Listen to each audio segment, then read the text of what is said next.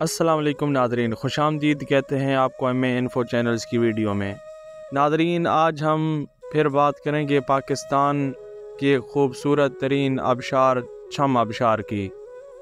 Nadreen, जन्नत नज़ीर वादी कश्मीर जो खूबसूरती में अपना मकाम सानी नहीं रखती, जिसकी खूबसूरती दिल फरेब होने के साथ साथ सैर अंगेज़ भी है, कश्मीर की तारीख हो या सियाहत चप्पा चप्पा शानदार है।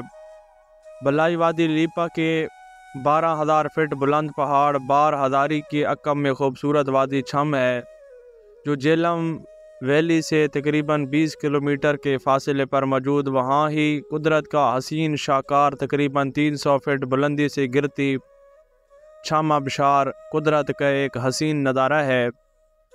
कश्मीर की सबसे बुलंद आबशार जो नाला कादी नाग पर वाक़ है। नाला कादी नाग का एक हिस्सा वादी लीपा के दरमियान से होता हुआ टटोलवाल के मकाम पर दरियाए नीलम से जा मिलता है, जबकि इसी नाला कादी नाग का दूसरा वादी छम से छम आबशार का नज़ारा पेश करते हुए चनारी के मकाम पर दरिया जेलम में शामिल हो जाता है।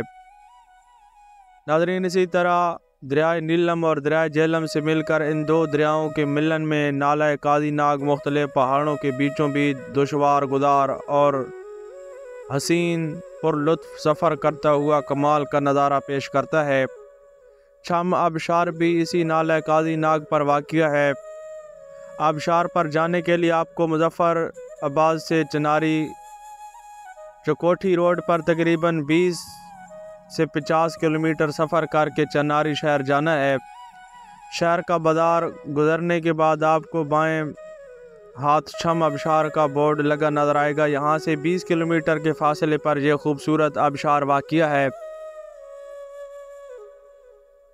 चनारी से आबशार तक का रास्ता भी बहुत बेहतरीन है। इस रास्ते में आपको मज़ीद दो आबशारें देखने को मिलती हैं। इनमें से एक आबशार डैम के पानी से बनती है। और सिर्फ़ इस वक्त आबशार चलती है, जब डैम का पानी मौजूद ओवरफ्लो कर जाता है। मुजफ़राबाद से छम आबशार तक जाने में आपको तीन घंटे लगते हैं।